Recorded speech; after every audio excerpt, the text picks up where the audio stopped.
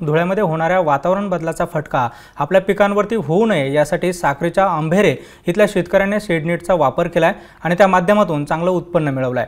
हिमत महाले यांनी आपल्या दोन एकर शेतावरती शेडनेट वापरून त्यात काकडीचं उत्पादन घेतलंय.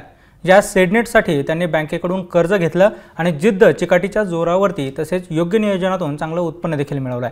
महाले यांच्या काकडी पिकाला महाराष्ट्रासह देशातील बहुतांश ठिकाणाहून मागणी मिळते आहे मी जवळजवळ दोन वर्षापासून शेडनेटमध्ये काकडी लावते यावर्षी पण के यू की नाईन या कंपनीची काकडी लावली. के यू की नाईन याची नामदारीची. ती काकडी लावून जवळजवळ मी एक लाख आठ हजारचं बियाणं घेतलं आणि रोप तयार करून लागवड केलेली. पण पंधरा नोव्हेंबरला लागवड केली पाऊस खूप पडला. पाऊस पडल्या पडल्यामुळे मर खूप झाली. मर झाल्यामुळे थोडंसं वेरिएशन झालं झाडांमध्ये. आणि परत नवीन लागवड केली पण मजा नाही आली पण रेट मिळत नाही यावर्षी. सर्वात मोठा प्रॉब्लेम आहे दहा किंवा बारा रुपयांनी जाऊन राहिली यावर्षी काकडी.